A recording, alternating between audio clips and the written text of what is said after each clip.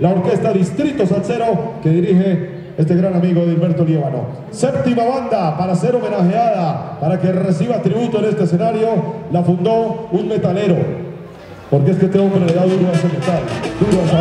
Ahí lo tienen, el señor Potós, de Colombia, de Alemania, en Europa. Ahí está, homenaje a una tremenda banda. Escucha esto, chimo. Invitada a Ana María Delgado en el trombón y Alberto Díaz. Beto Díaz en el piano. El tema. Javier Cuervo también invitado en el trombón. El tema se llama Mentalidad. Vamos a recordar con este homenaje a Palo Barrumba.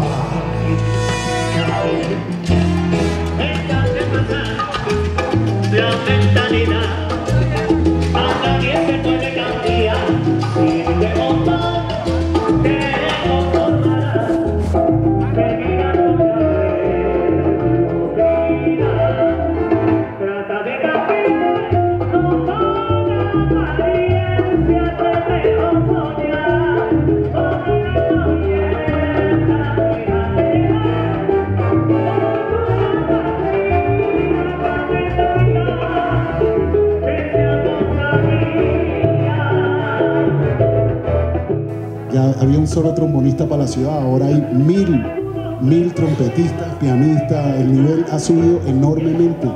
Entonces es necesario que cada uno de, de estos músicos no haga carrera individual, sino que es- la música es social, hay que estar siempre juntos.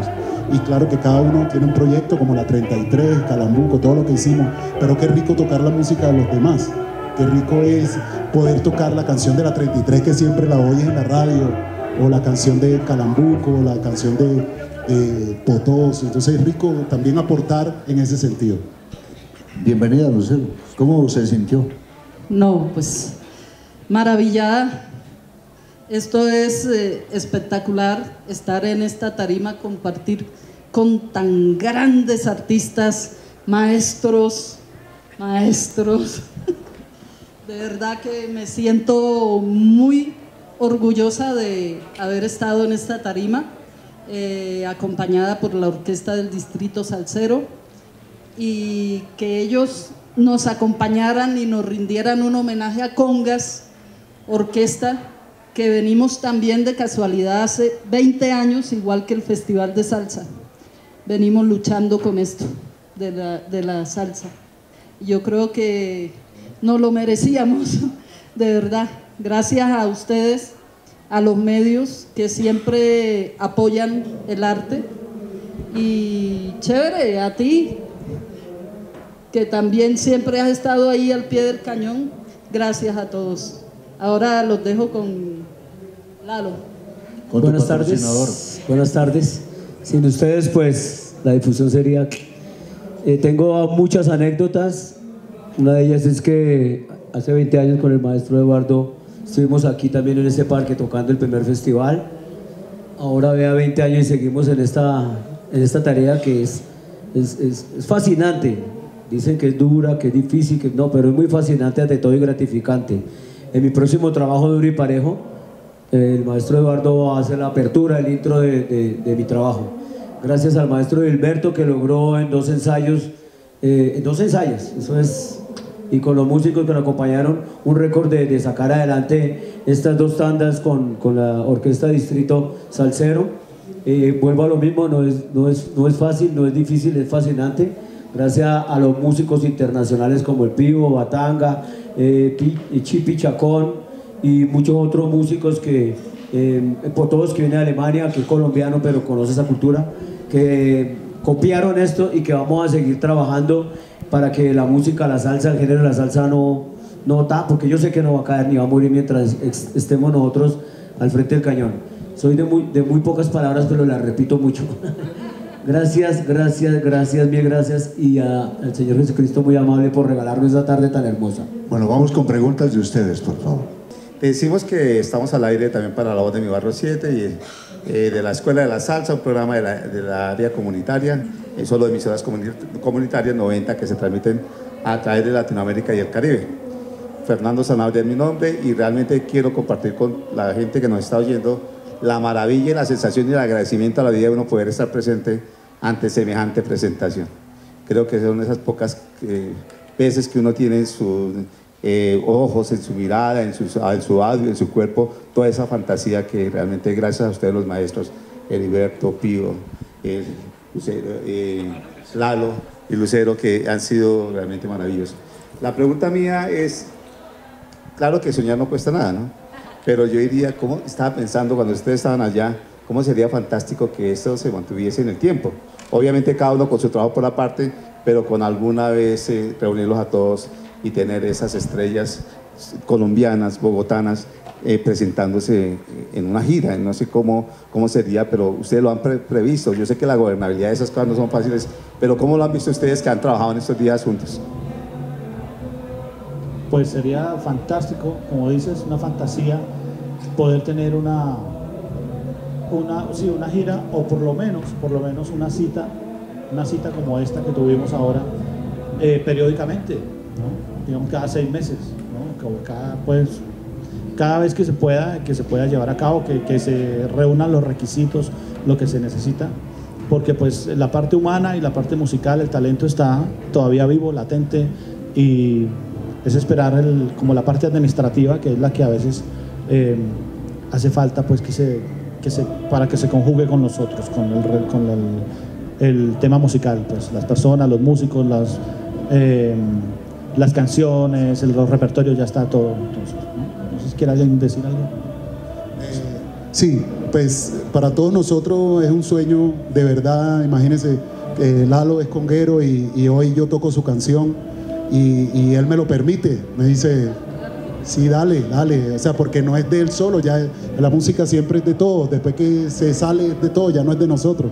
Entonces, claro, es un sueño que eh, gracias Dios hoy se realizó. Yo le decía a Dilberto que el primer ensayo casi lloro cuando, cuando me vi con Beto Díaz, Dilberto, eh, contigo, con todo. O sea, fue un, es un sueño. Y sería un mejor sueño si pudiéramos hacerlo periódicamente, claro que sí. Claro que sí. Yo creo que a Colombia, ¿no? Le haría buena falta algo así.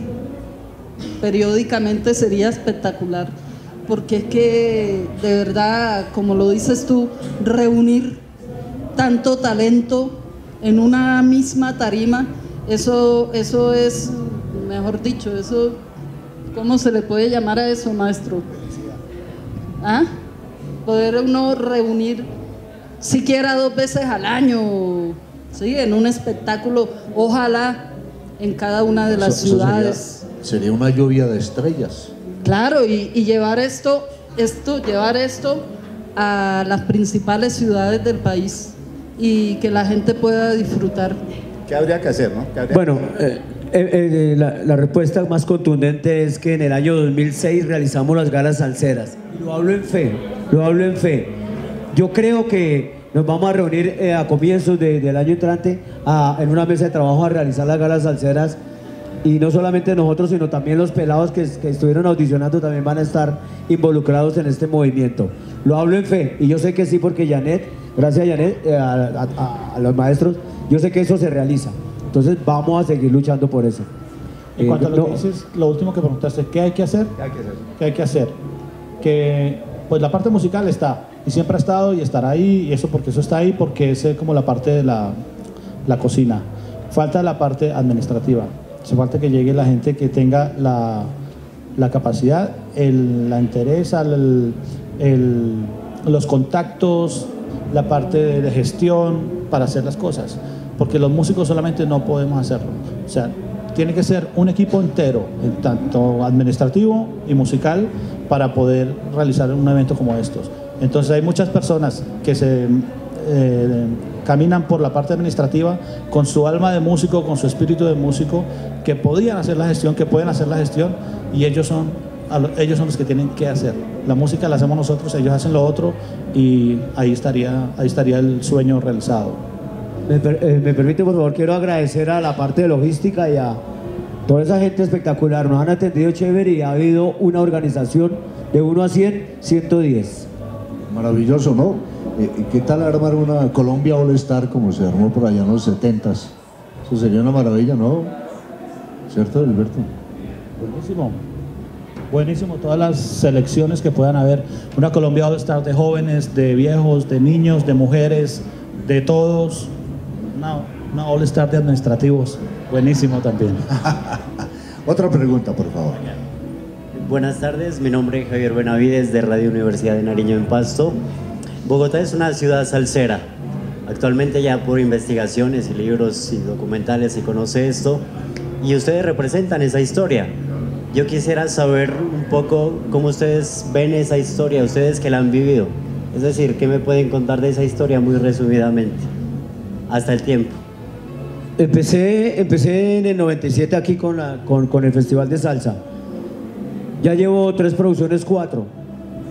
Y he conocido, he conocido muchas orquestas, se han mantenido varias, y la respuesta no puede ser muy contundente a tu pregunta, pero sí, sí sé que